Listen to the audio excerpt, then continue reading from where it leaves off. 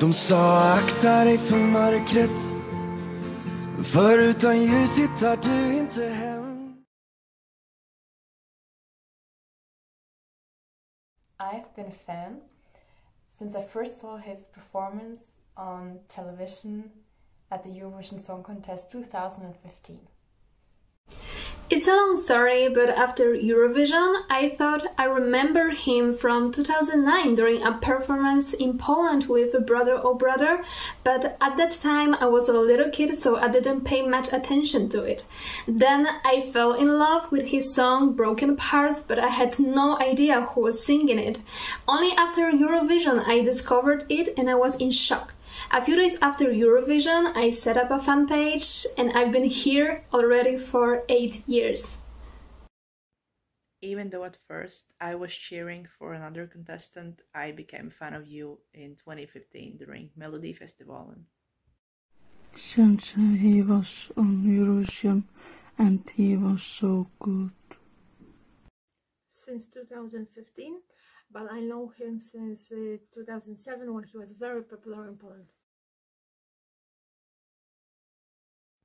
My favorite song is Fade Away, and I fell in love with it when you sang a piece of it during the Eurovision after winning press conference.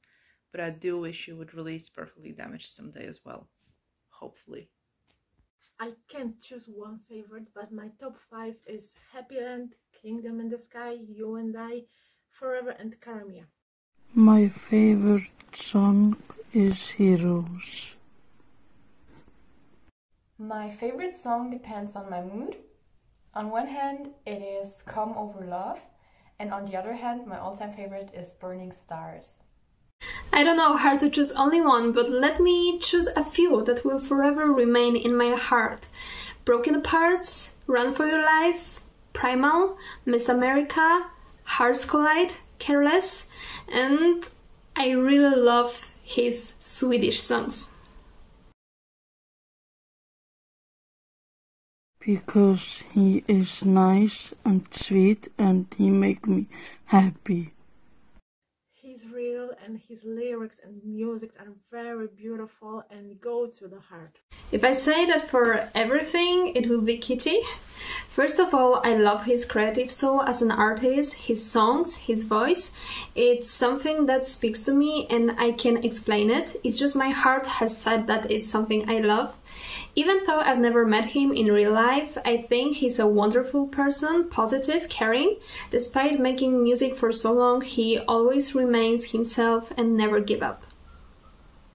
I support Måns because I really like his type of music. I can relate to a lot of songs, and I love that he's not just one of those artists that have just one album, but he continues to produce new music, which is very exciting. And I also believe that he's a very genuine, kind hearted, and down to earth person. I support you because one, you truly are a caring person, and when I met you both times, I got the feeling that you're not here to gain fame or money and you truly cared about your fans. Two, I enjoy your songs as well. and three, I enjoy what you're doing with uh, Wines and before with the Zelmerlöw Björkman Foundation. So I'm happy that you found your interests. In 2015 when I realized I know this guy who won Eurovision from somewhere and then the fact that he sings these cool songs Cara Mia, Maniac and Brother and Brother. Since I've never met him, I would say the happy moment is when he notices my Instagram post, especially if it's a comment, something more than just a like. I also remember one person asking him to record a video for me, another one asking him to sign a book for me. From what they said, Måns probably knows who I am, which is a great honor and happiness. The fact that I can run this fan page and organize birthday projects is something special for me. I will never even think about it. My best memory with Måns is that he saved my life. My best memory is definitely back in 2016 in Klaipėda, Lietuva, when I traveled from Riga, Latvia to see you live. And during the last song, Broken Parts, we sang to each other for like 10 seconds and it was so beautiful. I wish I would have captured it somehow. I actually have two favorite moments. One was in Switzerland, where I got to talk to him after concert in Zurich, and the other one was in Sweden. At a concert, although I didn't understand a single word he said during the concert, um, I really enjoyed the evening and I felt really connected.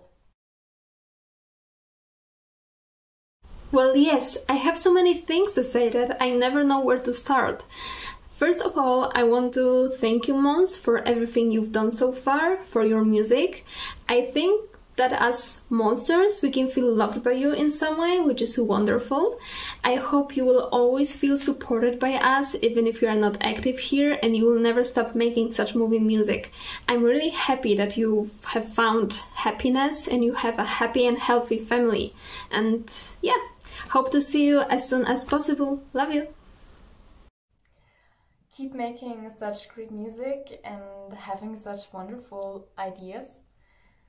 I hope you spend a lovely time with your family and thank you so much for your inspiring music. Lots of love from Switzerland to you and your family. Yeah, please come to Poland, but seriously, do everything what makes you happy.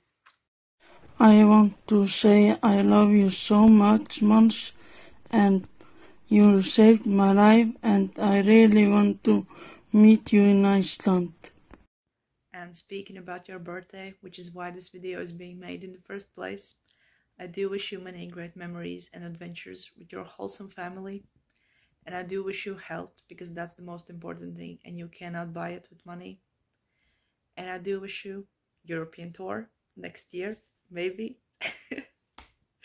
Happy birthday, Måns. Or as we say in Latvian, Daudz laimes dzimšanas dienā.